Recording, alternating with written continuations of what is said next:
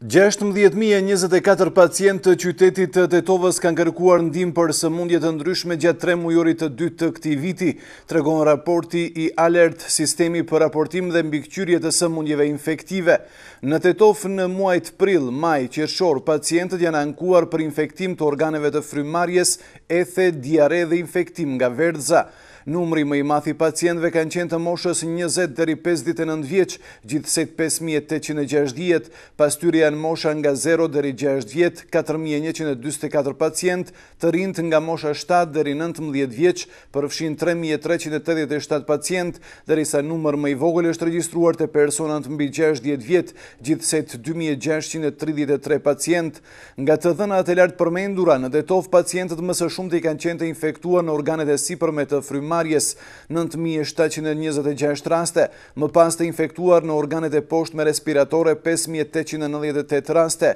diarre, treqind e gjashtëdhjetë e një raste, të infektuar me verdhëz, tridhjetë e tetë raste dhe një rast me ethe. Monitorimi i sëmundjeve infektive nga Alert Sistemi mbulon qendrat për shëndet publik në Shkup, Tetovë, Manastir, Strumicë, Veles, Koçan, Ohër, Prilep dhe Shtip.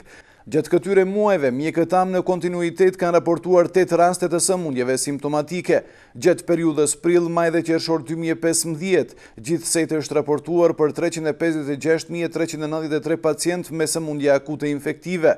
Në periudhën e analizuar janë vërejtur se të infektuar në organet e frymëmarrjes janë regjistruar dyqind e gjashtëdhjetë e një mijë e gjashtëdhjetë e nëntë raste. Numri më i madh i personave të sëmurë janë grupmosha nga njëzet deri pesëdhjetë e nëntë vjeç me nëntëdhjetë mijë e tetëqind e nëntëdhjetë e nëntë raste, pasojnë grupmosha nga zero deri gjashtë vjet shtatëdhjetë e dy mijë e njëqind e njëzet e një raste dhe grupmosha nga shtatë deri nëntëmbëdhjetë vjet shtatëdhjetë mijë e nëntëqind e gjashtëdhjetë raste. Të infektuar në organet e poshtme të frymëmarrjes janë regjistruar tetëdhjetë e nëntë mijë e njëqind e shtatëdhjetë e shtatë raste. Numri më i madh i të sëmurëve janë të moshës njëzet deri pesëdhjetë e nëntë vjeç, me tridhjetë e tre mijë e nëntëqind e dhjetë raste, më pas janë grupmosha zero deri gjashtë vjet, njëzet e një mijë e njëqind e gjashtëdhjetë e dy raste. Sipas raportit, në tremujorin e dytë të këtij viti, numri më i madh i të sëmurëve është regjistruar në muajin maj, tridhjetë e gjashtë pikë nëntë për qind nga numri i përgjithshëm, pason muaji qershor tridhjetë e një pikë gjashtë dhe prill tridhjetë e një pikë pesë për qind, sipas Alert Sistemit, janë regjistruar njëmbëdhjetë raste me ethe, njëqind e pesëdhjetë e dy raste me verdhëz, dy raste me diarre dhe nuk është regjistruar asnjë rast me meningoencefalit.